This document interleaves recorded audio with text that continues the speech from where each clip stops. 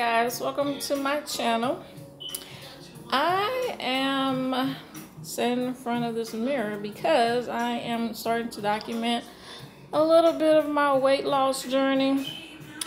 I am fun fact about myself I am a over 50 person.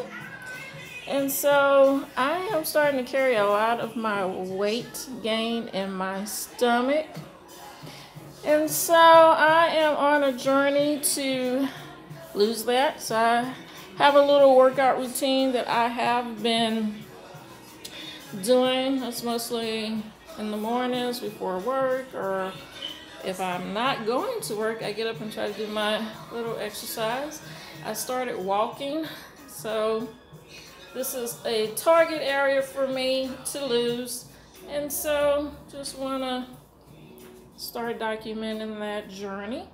If you're like me and you are over 50 and you are finding that you're starting to gain, you know, your weight mostly like in your midsection, then, you know, let's go on this journey together and see if a little more activity, a little better eating will help us uh, slim that down. So just wanted to share that.